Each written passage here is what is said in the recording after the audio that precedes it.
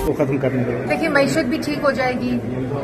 जो हालात है मुल्क के, रोज़गार भी आवाम को इनशाला जो हमारे वज़ीर अजम शहबाज शरीफ साहब हैं, जो हमारे गुजरा हैं, काबीना है कोलिशन पार्टीज़ हैं, उन सब की नीयत पाकिस्तान की आवाम को रिलीफ देना है।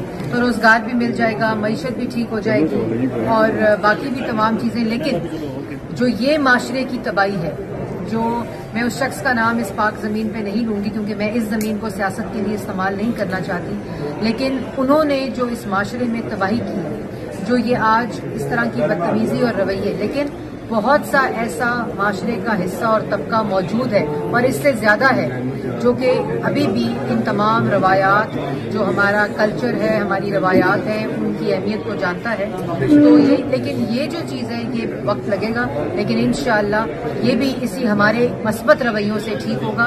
मैं ये ये भी कहना चाहती हूँ कि जो हमारे यहाँ कारकुन आए थे, उनमें भी एक जज्बा है, लेकिन उनको ये हदायत जारी की गई है कि कोई भी मस्जिद नबी के अहाते में, मक्का के हयाते में, मदीना के हयाते में, किसी किस्म की ऐसी, इनको देखते हुए बदतमीजी ना करें। यही फ़र्क है इन लोगों में और हम।